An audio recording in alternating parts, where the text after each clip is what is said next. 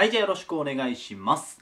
えー今回は社会の地理、日本の人口問題についてお送りします。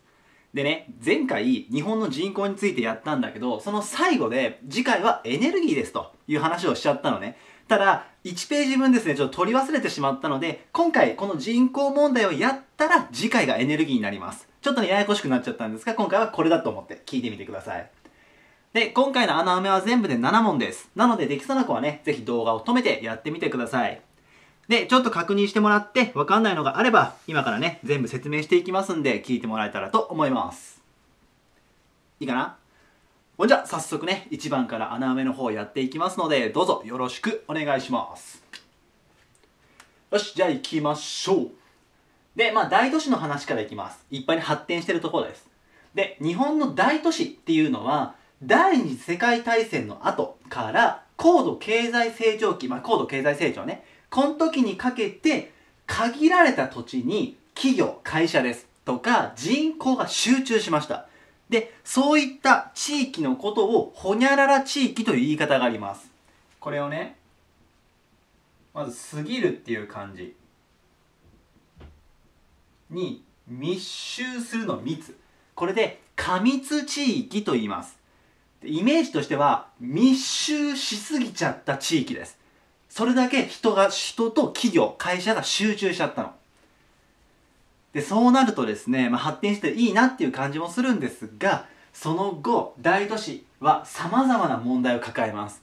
でまず人が集中しすぎてしまったので例えばこう渋滞がすごくなってしまった。交通渋滞ね。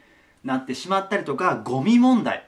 そのねゴミがこういっぱい出るから人がいるとね。それがそのうまく回らなくなってきれいにならなくなるとそういう問題が出てきます。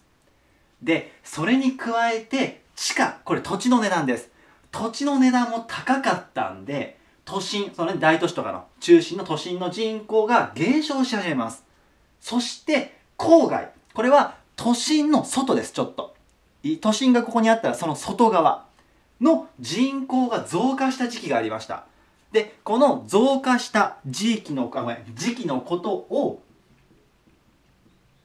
食べ物のドーナツね。ドーナツ化現象をと言います。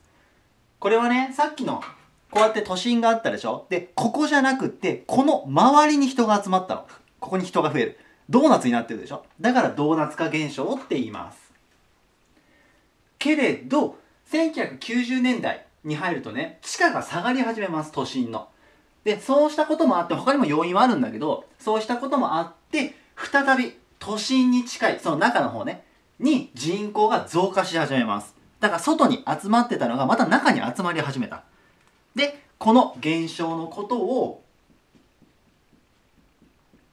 都心に回るに帰る。これで都心回帰現象と言います。いいね。都心回帰現象です、まあ、2つの現象がありますので名前覚えておいてください。で次は農村の話に行きます。農村ね。で農村では人口が減少します。減少してるんです。それとほにゃらがら化が進んでいる。でこれ何かっていうと農村ねに関しては高齢化が進んでます。でこれは若い人がどんどんどんどん都心に出ちゃっているので農村ねとあの若い人がいなくなっちゃってるんです。それで人口が減少しちゃってお年寄りだけが残るから高齢化が進んでいる。そういう状態になります。でそうすると若い人がいなくなってるのも影響して地域社会その地域ねを維持する機能が弱くなります。働ける人が少なくなるから。で弱くなってしまってこういった地域のことをこっちは過密地域でした。でこっちは同じく過ぎるって感じから入ります。にちょっと2個が出過ぎたらごめんね。過疎地域と言います。ちょっとその漢字が見にくいね。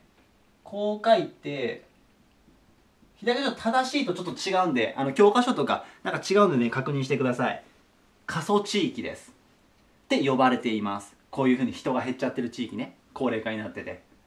でその過疎地域の中でも65歳以上の人口が過半数、半分以上を占める集落のことをほにゃらら集落という言い方があって、これを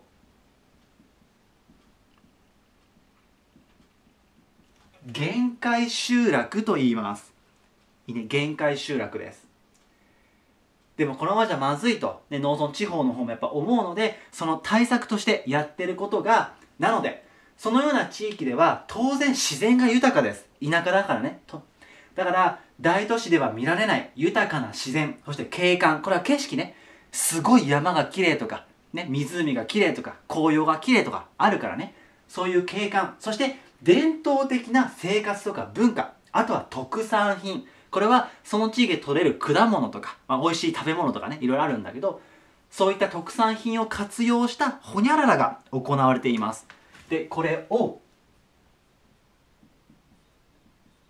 町おこしとか町おこし村おこしです。っていうのを行われています。それを盛り上げていこうって人をもっと集めていこうってそういうことをやってるんです。いいかな？こうやってね大都市の問題もあれば大都市問題とか傾向だね。とかこういう農村の問題とかこういうことをやってるよっていうのがありますのでぜひね覚えておいてください。では今回は社会の地理日本の人口問題についてお送りしました、えー、今回はね見ていただいて本当にありがとうございましたで、次回が本当にエネルギーです。ね、エネルギーの話をやりますので、もしよかったらね、そっちの方も見てみてください。ほんじゃ、今回はこの辺で終わります。以上です。ありがとうございました。